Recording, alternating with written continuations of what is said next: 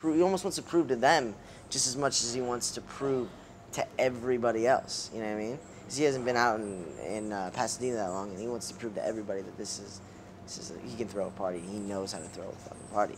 And I think even him, even me or whatever, is surprised at the end of the movie what we were, what I was able to accomplish. I think like all the crazy stuff that happens, it only makes it funnier that we are three high school kids, the three high school kids who who we are. You know, by looks, you know, we're not the kids that would ever throw this kind of party. And to be honest, I know a lot of people, and I've never known anyone who's thrown a party like this.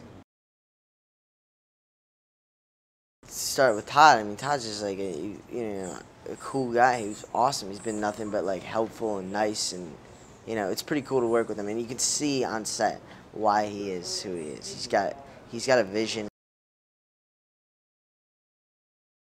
And then working with Nima is awesome because the guy has such a cool vision for you know everything. It's just little details, the little things that like I would never even think of noticing. He just picks them out and stuff like that. And he's the nicest guy in the world. Nima's like the nicest guy in the world.